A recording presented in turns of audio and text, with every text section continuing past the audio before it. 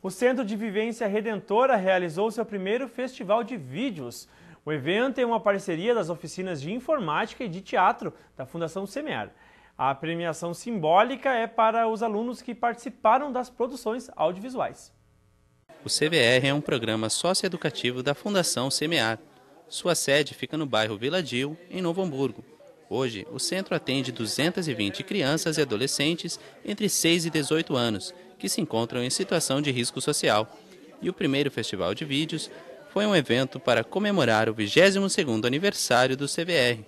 O professor Vladimir revela que o evento é um antigo sonho do centro. A gente tinha esse projeto já desde o ano passado. O que faltava assim era a questão da interpretação, que a gente não tinha oficina de teatro. Aí esse ano, como o CVR conseguiu, né, oficina de teatro, então a gente fez essa parceria, informática e teatro. E aí, a partir do trabalho do teatro, a gente começou a gravar os vídeos para poder uh, fazer esse festival, essa ideia do festival. E na informática, a gente está fazendo a edição, tentando fazer a edição do, dos vídeos. Eles tiveram toda a teoria né, de como editar um vídeo e, bom, devido ao nosso equipamento, não é possível assim, fazer grandes edições. Né? Então, a gente tem uma limitação devido a isso mas uh, eles fizeram sim a teoria do, de como editar um vídeo. Eu acho que houve bastante participação, assim, acho que eles se empolgaram, uh, teve assim bastante aceitação. Eles ficaram livres, né, para escolher quem gostaria de participar, mesmo dentro da oficina eles poderiam optar. E teve assim um número bastante grande, sim, de participantes. As atividades oferecidas pelo CVR buscam o desenvolvimento das habilidades e dos valores das crianças, para acrescentar experiências na construção de uma vida social.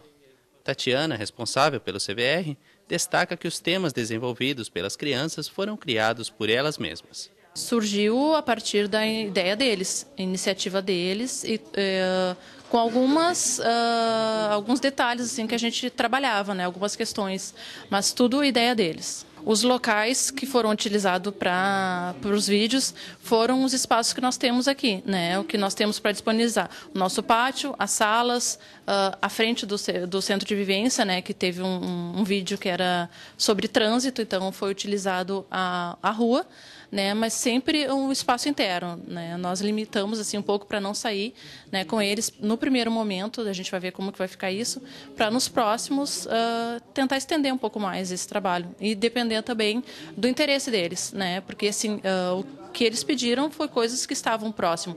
Uh, utilizaram a cozinha, né? Numa questão de situação familiar, então utilizamos a cozinha que nós temos aqui.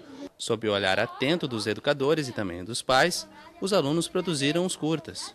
Os temas escolhidos foram comédia, conscientização social e ficção.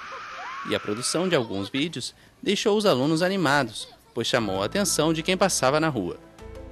Foi bem legal fazer a produção, foi tão realista. Uh, os fatos, o sangue, a atuação dos alunos, que também chamou muita atenção do público. Pessoas chegando, sabe, pensando que era acidente de verdade. Até a Tati falava, fazia sinal que não era acidente, mas eles queriam ver, eles faziam, tipo, ficava assim em volta olhando. Foi muito legal, assim, que a gente fazendo esse negócio de álcool, né, foi muito interessante também para incentivar os outros quando o bebê não dirigir, né. A minha mãe deu ideias de como fazer, como atuar. E essa... É coisa de mãe, né? Fazer. Ah, foi legal. É, descobrimos coisas novas sobre o vídeo que era falar sobre a preferência dos adolescentes. Além de teatro e informática, o centro oferece oficinas de balé, dança de rua, artes visuais, arte literária, atividades pedagógicas, educação social e recreação. Para entrar em contato com a entidade, acesse o site fundaçãosemear.org.br ou então ligue para 3583 1501.